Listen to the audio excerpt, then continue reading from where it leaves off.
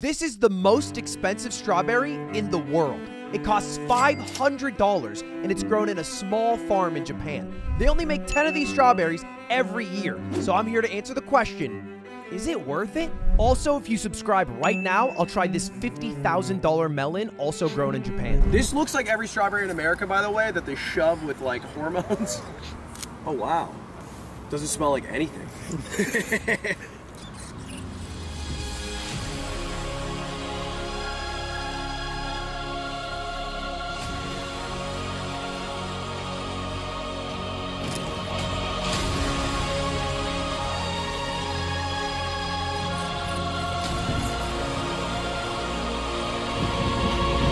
That's not even close to $500. Maybe you got the PS5. fuck that.